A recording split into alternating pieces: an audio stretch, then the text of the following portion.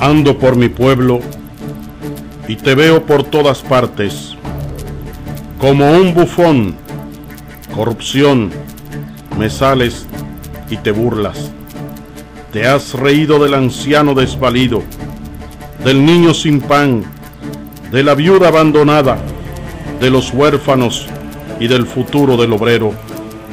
Tu perfidia nos ha dejado en la miseria, en la angustia y el dolor.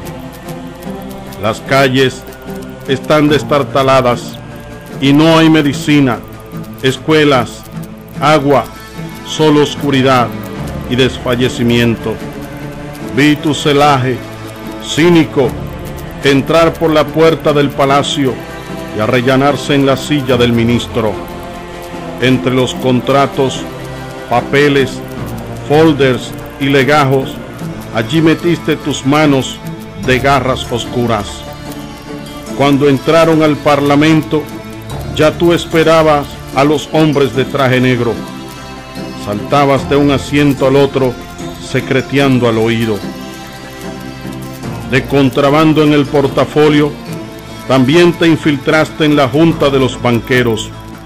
Vendaste la mirada de Dixie y con el polvo de tu magia adormilaste la conciencia de los jueces.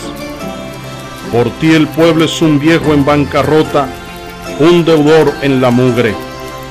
Los sin techos, ahora multiplicados, miran tristemente a través de los cuencos sin aceite, los hijos enfermos, los trastos destartalados, las cañadas pestilentes, las goteras en invierno y los muladares improvisados. Pero, corrupción, no te voy a desterrar como Pablo a la pobreza. Eres un cáncer al que se debe extirpar. Yo, junto a muchos otros de buena voluntad, uniremos fuerzas para aniquilarte.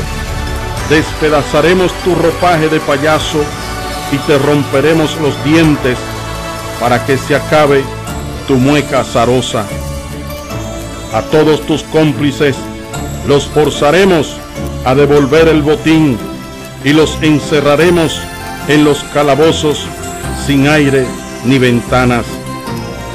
Escribiremos sus nombres con tinta indeleble en los muros de las calles para que los vean sus esposas, sus hijos y sus generaciones. Serán los repudiados invasores que arruinaron la ciudad. Con la espada de la transparencia y de la justicia, corrupción, te cortaremos la piel, vaciaremos tu sangre y destrozaremos tus huesos hasta que desfallezca.